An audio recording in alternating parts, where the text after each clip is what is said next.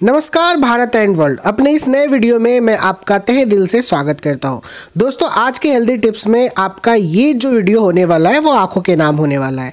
और इसमें हम लोग बात करेंगे कि आँखों में मोतियाबिंद के अगर लक्षण आते हैं तो आप कैसे इसे पहचान सकते हैं?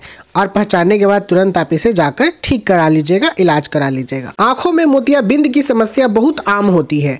एक उम्र के बाद कई लोग मोतियाबिंद की समस्या का सामना कर रहे होते हैं। हालाँकि इस बीमारी के लक्षणों को पहले से समझ लिया जाए तो आपकी आँखों को बचाया जा सकता है।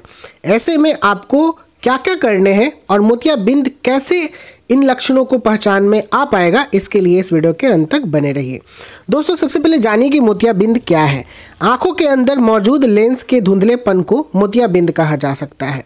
इस बीमारी में आँखों के अंदर की लाइट धुंधलेपन की वजह से पर्दे तक नहीं पहुँच पाती है। आइए इस बीमारी के लक्षणों के बारे में जानते हैं। सबसे पहले आएगा धुंधलापन।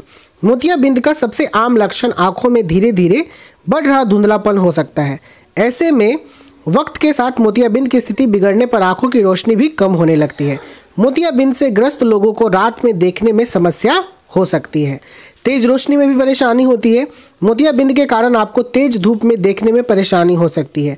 अगर आसान शब्दों में समझने की कोशिश करें तो इस बीमारी में ज़्यादा तेज रोशनी को देखना मुश्किल हो सकता है। यह तेज रोशनी घर के अंदर बाहर कहीं भी हो सकती है।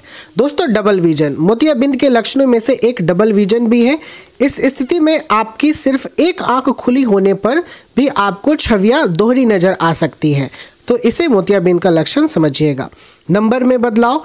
कई बार मोतियाबिंद के कारण चश्मे या कॉन्टेक्ट लेस के नंबर में बार बार बदलाव होने लगता है।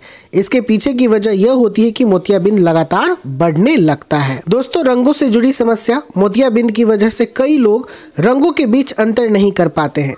इस बीमारी में आपकी नज़रें धीरे धीरे भूरी या पीली हो सकती है। हालाँकि, स्थिति ज़्यादा बिगड़ने पर आप रंगों में अंतर नहीं कर पाएँगे। दोस्तों आई होप कि इस वीडियो से आपको पूरी जानकारी मिली होगी कि अगर आपको मोतियाबिंद के लक्षण आ रहे हैं तो आप इसे आसानी से पकड़ सकते हो। अगर ऐसा हो तो प्लीज़ वीडियो को लाइक कीजिएगा। भाई को इसी तरीके से आगे बढ़ाते रहिए। चैनल को सब्सक्राइब करना ना भूलिएगा। मिलते हैं नेक्स्ट टिप्स के साथ। Bye bye take care